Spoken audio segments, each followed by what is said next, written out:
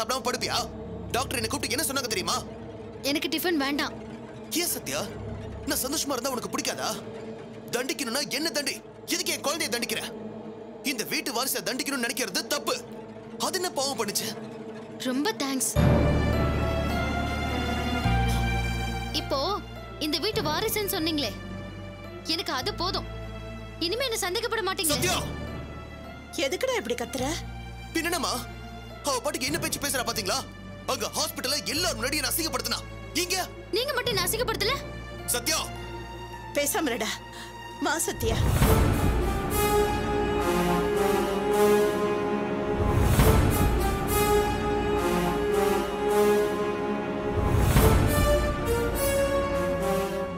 டேய் பிரகாஷ். ஏன்டா எதுக்கு எடுத்தாலும் இப்படி சத்தம் போட்டு கோவப்படுற? சத்யா முன்ன மாதிரி இல்லடா.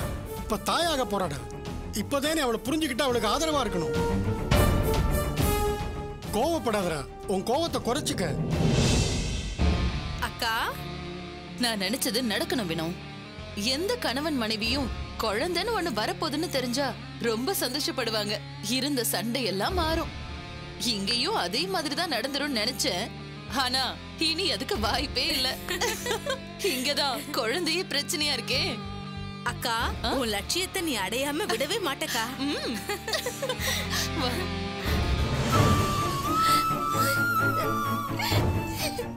உன்ன மாதிரி ஒரு பொண்ணு மனைவி அமைய மாட்டான்.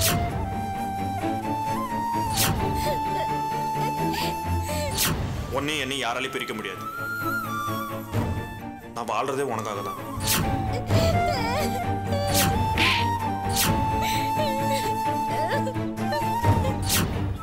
நினைச்சு எங்க அம்மாவை கொல்ல பார்த்திருக்கல இப்போ சொல்றேன். நீ எனக்கு பொண்டாட்டியே கிடையாது. என் மூஞ்சில முழிக்காத.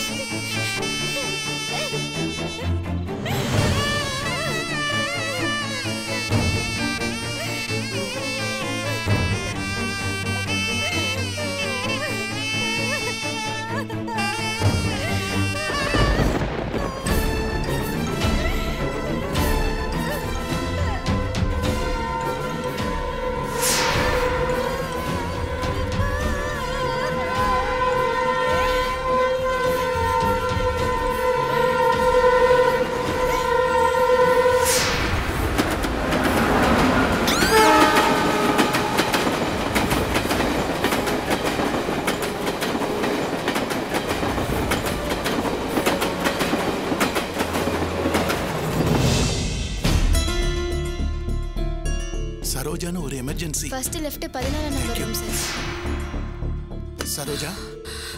என்னங்க? என்னம்மா ஆச்சு? என்ன சரோஜா? என்னம்மா நடந்தது? வீட்டுக்கு போனா அக்கம் பக்கத்துல இருக்கிறவங்க ஏதேதோ சொல்றாங்க. அப்பா. என்ன ஆச்சு? எல்லாத்துக்கும் காரணம் தாரணி தான்ப்பா. என்னப்பா சொல்ற? அங்க இருக்கிறவங்களும் இதே தான் சொல்றாங்க. அப்பா நான் உங்களை பஸ் ஸ்டாண்ட்ல விட்டு வீட்டுக்கு வந்தேன். அப்ப அம்மா உடம்பு முடியலன்னு சொல்லியிருந்தாங்க. சரி நான் தாரணியை கூட்டு பால் காய்ச்சி கொடுக்க சொன்னேன்.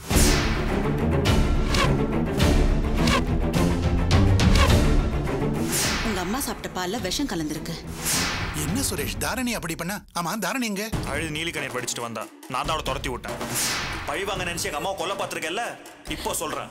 நீ எனக்கு பொண்டாட்டியே கிடையாது. என் மூஞ்சில முழிக்காத. சுரேஷ் எல்லாம் ஓ இஷ்டத்துக்கு பண்ணுவியா? அப்பா அவன் அம்மாவை கொல்ல பார்த்தா. பால்ல விஷத்தை கலந்து நிறுத்துற மனம் போன போக்குல திரும்ப திரும்ப அதையே சொல்லாத. தாரணி என்னோட தங்கச்சி பொண்ணு. அவளுக்கு இந்த மாதிரி புத்தி எல்லாம் வராது. என்ன நடந்துச்சு? சொல்லு. தாரணி கொடுத்த பால்ல தான் விஷம் கலந்திருந்ததுன்னு டாக்டர் கூட அப்படிதான் சொன்னாங்க. எல்லாம் சரிதாம்மா. அந்த பால்ல தாரணி தான் விஷம் கலந்தான்னு எப்படி உறுதியா சொல்ல முடியும்? அதுக்கு நான் தான் சாட்சி. என்ன சாட்சி? கண்ணால பாத்தியா? சொல்லுடா. அவ விஷம் கலந்தத உன் கண்ணால பாத்தியா? நான் தான்ப்பா அவளை பாலே கொடுக்க சொன்னேன். அதுக்காக? எல்லாத்தையும் அவ தான் பண்ணான்னு எப்படி சொல்ல முடியும்? இல்ல சுரேஷ் இதுல வேற எங்கேயோ தப்பு இருக்கு. அவகிட்ட நீ இத பத்தி ஏதாவது கேட்டியா? அவ ஏதாவது சொன்னாளா? தப்பு பண்ணவகிட்ட என்ன இருக்கு கேட்கறதுக்கு அவனுக்கு எதுவும் தெரியாதுன்னு சொன்னான் உன் உறவை வேணாம் துரத்தி விட்டேன். விடு சுரேஷ். அதான் எனக்கு எதுவும் ஆகலையே. தாரணி போய் கூட்டிட்டு வந்திருப்பா. அவ என்னைக்கு உன்னை எதிரியா நினைச்சாலும் நான் அன்னைக்கு அவளை வீட்டை விட்டு துரத்தி விட்டுருக்கணும். பண்ணாம விட்டேன். அதான் உங்களை இந்த நிலைமையில கொண்டு வந்து விட்டுருக்கு. அவளை என் பொண்டாட்டி நான் வீட்டுக்குள்ள சேர்த்தா உங்களை கொன்னே போட்டுருவா. அவ இனிமேல் என் பொண்டாட்டின்னு வீட்டுக்குள்ள நுழைய முடியாது.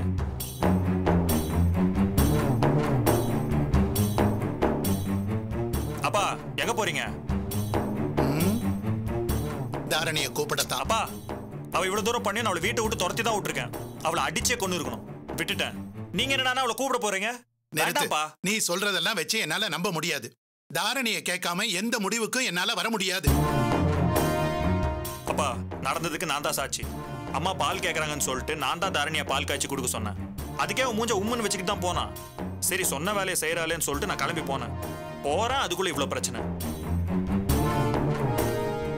அவ நம்ம வீட்டுக்குள்ளே நுழையக்கூடாது என்னடா நீ? அதான் அப்பா சொல்றாருல்ல. அவ செஞ்சிருக்க மாட்டான்னு சொல்றாரு. அப்படி செஞ்சிருந்தாதான் என்ன? சின்ன பொண்ணு. விவரம் தெரியாம என்ன பழி வாங்குறதா எதையோ நினைச்சு இந்த மாதிரி செஞ்சிட்டா. நீ இதெல்லாம் பெருசா எடுத்துக்காதப்பா. என்னங்க? அவனை நீங்க கூட்டிட்டு போங்க. பாவங்க அவ. அவ அவ அம்மா வீட்டுக்கு தான் போயிருப்பா. ஆமாம்மா. மா. விடுறா.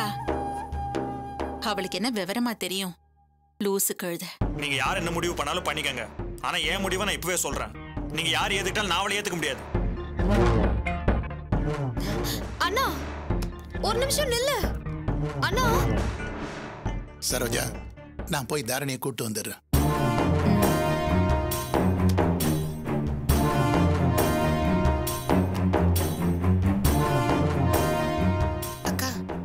என்னக்கா இது? அண்ணன் எப்படி இருக்காரு? ஊரே நம்பினாலும் அண்ணன் நம்ப மாட்டேங்கிறாரு. இவர் பாட்டுக்கு அவளை கூட்டிட்டு வந்து ஏன் இன்னும் நம்ம மாரடிக்கவா எனக்கு தெரியும் தெரியும்டி ஊர் நம்பினாலும் ஏன் உலகமே நம்பினாலும் கடவுளே வந்து சொன்னா கூட என் புருஷன் நம்ப மாட்டாரு. இவரு நம்புறாரு நம்பல. என் மகன் சொன்னதை கேட்டல்ல? யார் ஏத்துக்கிட்டாலும் ஏத்துக்கலனாலும் அவ எனக்கு பொண்டாட்டி இல்லைன்னு சொன்னான்ல? நமக்கு அதுதான் வேணும். சுரேஷ் நம்ம பிடிக்குள்ள வரணும் விஜயா. அதுக்கப்புறம் இந்த கதையே நம்ம கதை தான்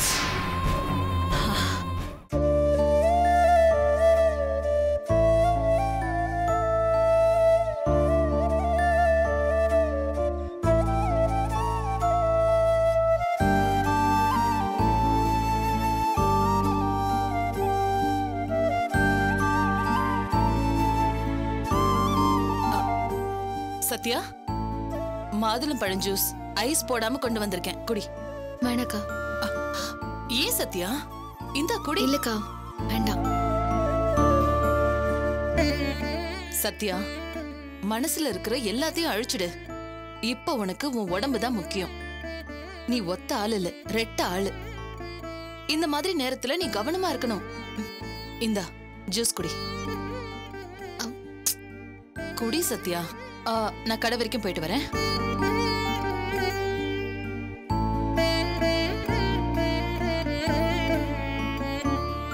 இத பாரு பிரகாஷ். இதெல்லாம் யாரால? எல்லாம் உன்னோட முன்கோபத்தினால தானே. இந்த மாதிரி நேரத்துல ஒரு பொண்ணுக்கு துணையா இருக்கிறது அவ கணவன் மட்டும்தான்டா. இந்த மாதிரி நேரத்துல அவ மனசை காயப்படுத்திட்டியே.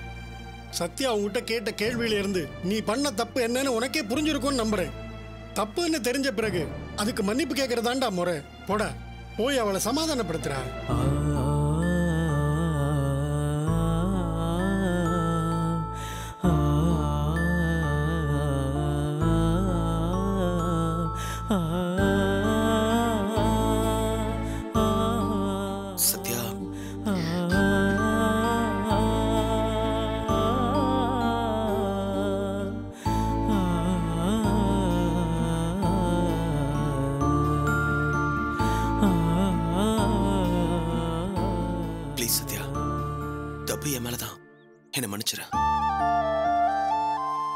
நான் அப்படி பேசியிருக்க கூடாதுதான்.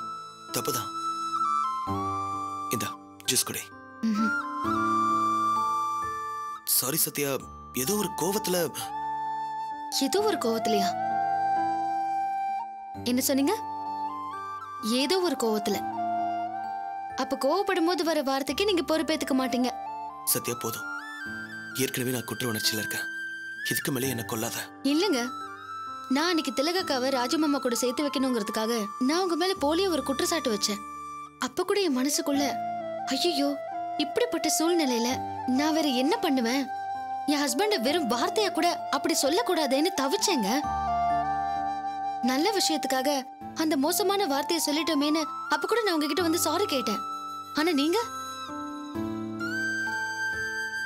இல்ல சத்யா. இனிமே அந்த மாதிரி வார்த்தையை நான் பேசவே மாட்டேன். இது சத்தியம். குழந்தை மனசு. நீங்க பண்ண தப்புக்கு குழந்தை ஏன் சாட்சி ஆக்குறீங்க இனி அந்த மாதிரி வார்த்தையை எப்பவும் பேச மாட்டேன். ப்ளீஸ் சத்யா. ஜூஸ் குடி. என்ன பழி வாங்குறேன்னு குழந்தைய தண்டிக்காத.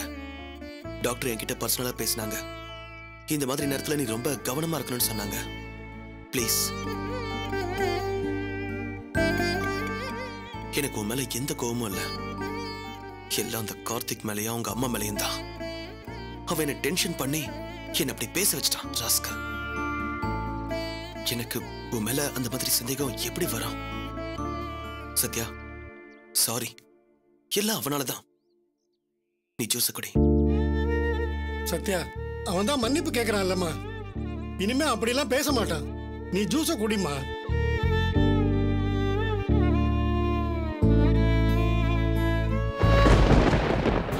ஹாய் சத்யா.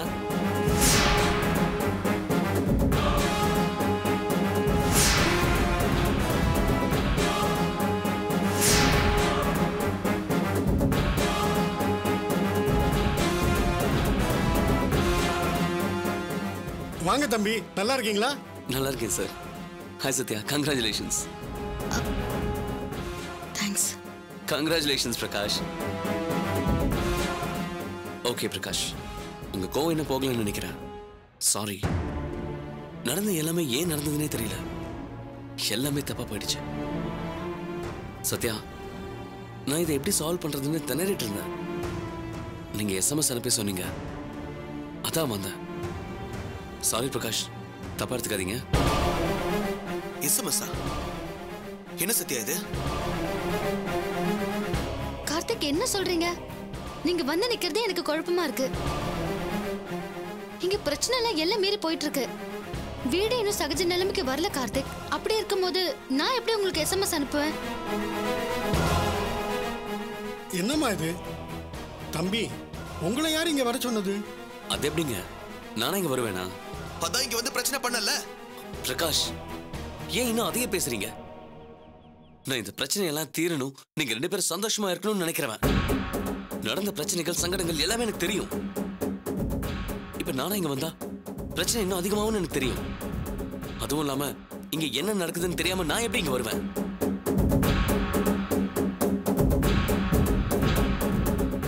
சத்யா தான் எனக்கு. நான் பிரெக்னெண்டா இருக்கேன். நீங்க வீட்டுக்கு வாங்க.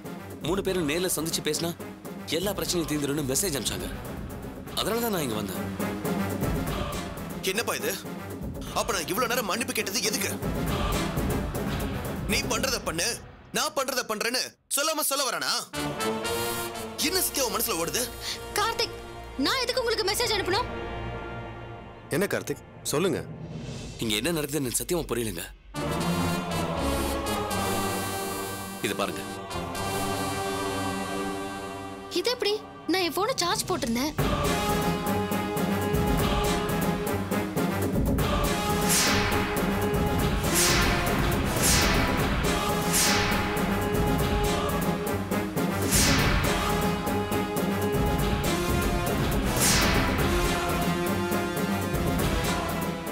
என்ன சத்யா இதெல்லாம்? இப்ப புரியுதாப்பா? எல்லாம் அவங்க இஷ்டப்படி தான் நடக்குது. நான் இவ்ளோ சொல்லியும் இவன் மெசேஜ் பண்ணிருக்கா. இவனும் வெக்கலாம் வந்து நிக்கிறான். இது நான் என்னன்னு சொல்றது சொல்லுங்க. சாரி சத்யா எனக்கு இங்க என்ன நடக்குதுன்னே புரியல.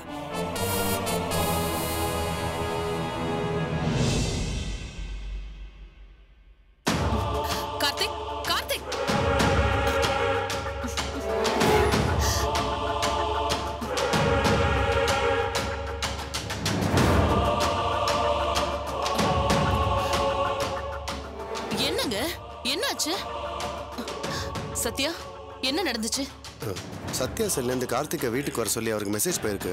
அதான் இங்க வந்திருந்தாரு. ஆனா சத்யா மெசேஜ் அனுப்பலன்னு சொல்றான். ஐயோ அந்த மெசேஜ் நான் தாங்க அனுப்புனேன்.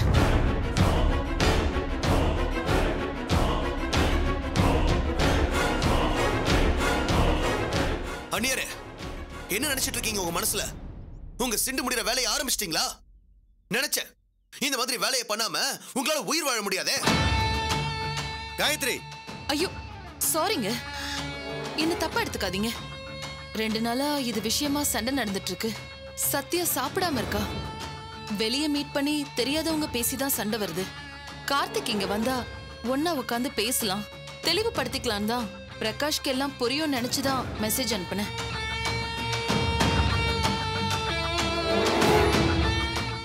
ஏன் செல்ல இருந்தே கூப்பிட்டு பேசியிருப்பேன். பேசினா எங்க கார்த்திக் வேண்டாங்க. பிரகாஷ் கோவத்துல இருப்பாருன்னு சொல்லி வரமாட்டாருன்னு நினைச்சுதான் சத்யா செல்ல இருந்து மெசேஜ் அனுப்புனேன். நான் பிரச்சனை தீரணும்னு நினைச்சேன். ஆனா இப்போ இதுவே ஒரு பெரிய பிரச்சனை ஆயிடுச்சு. சத்யா என்னை மன்னிச்சிரு. நான் உனக்கு நல்லது நினைச்சுதான் பண்ணேன். பிரகாஷ் நான் பண்ணது தப்புதான். சாரி என்ன காயத்ரி இது? எது செஞ்சாலும் முதல்ல சொல்லிட்டு செய்யறது இல்லையா? சத்யா கிட்டயாவது நீ சொல்லியிருக்க வேண்டாமா? இல்ல மாமா. கார்த்திக் வரும்போது நானே பேசலாம்னு இருந்தேன். இப்பதான் சத்யாவுக்கு ஜூஸ் கொடுத்துட்டு பக்கத்துல கடைக்கு போனேன். அதுக்குள்ள எல்லாம் நடந்து போச்சு. சாரி சத்யா. என்னக்கா நீங்க? அ, சத்யா ப்ராமிஸா நான் நல்லதுதான் நினைச்சேன். அ, ஏங்க நான் தப்பா நினைச்சு இதெல்லாம் பண்ணலங்க. எல்லா பிரச்சனையும் இன்னையோட முடியணும். நம்ம வீட்ல சத்யா சந்தோஷமா இருக்கணும்னு நினைச்சுதான் நான் இப்படி பண்ணேன். சாரிங்க உன்னோட நோக்கம் சரிதான் காயத்ரி. அதுக்காக இன்னொருத்தர் மொபைல்ல மெசேஜ்லாம் அனுப்பலாமா? இல்லைங்க நான் பிரச்சனை தீரணும்னு தான் இதை பண்ணேன். சரி போ. இனிமே இது மாதிரிலாம் பண்ணாத.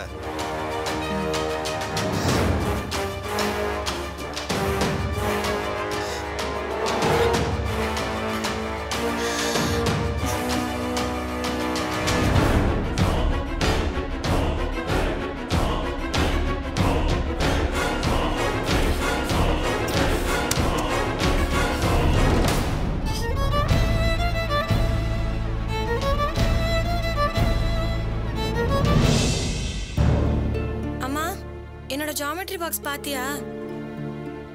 மா! மா! என்ன அஞ்சலி? என்னம்மா என்னாச்சு? ஏதோ யோசிச்சுட்டு இருக்க என்ன கூப்பிட்டியா கூப்பிட்டியாவா என்னாச்சு உனக்கு? என்ன அஞ்சலி? சொல்லு. என்னோட ஜாமெட்ரி பாக்ஸ் எங்க? ஜாமெண்ட்ரி பாக்ஸா அங்க ஷெல்ஃபு கிட்ட தான் பார்த்தேன். அம்மா என்னம்மா ஆச்சு உனக்கு? ஏன் ஒரு மாதிரியா இருக்க? என்னன்னு தெரியல அஞ்சலி. வலது கண் துடிச்சுக்கிட்டே இருக்கு. ஏதோ தப்பு நடக்க போற மாதிரி. தப்பா? மனசுக்குள்ள தாரணி நினைப்பாவே இருக்கு. என்னம்மா சொல்ற? ஆமா அஞ்சலி. நேத்து கோவில்ல தாரணி அழுதுகிட்டே போனதா நீ சொன்னல்ல. அதுல இருந்து என் மனசுல அவ நினைப்பாவே ஓடிட்டு இருக்கு என்னம்மா நீ? தாரணி நேர்ல வந்தா திட்டி அனுப்புற. இப்ப அவ பேச்சு எடுத்ததும் அவளை பத்தி யோசிக்கிற. என்ன அஞ்சலி? தாரணி நேர்ல வந்தா திட்டுறாங்க. இப்ப அவளை பத்தியே பேசிட்டு இருக்காங்க அதான் அஞ்சலி. தாய் மனசுங்கிறது.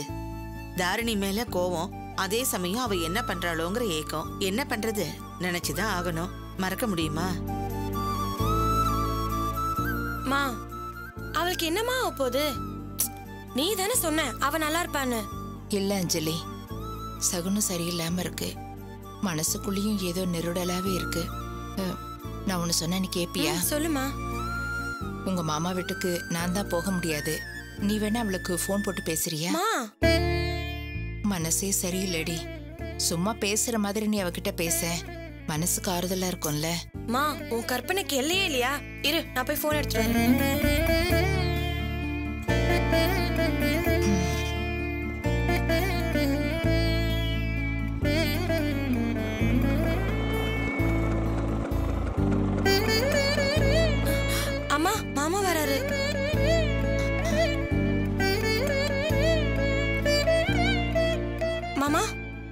மாமா.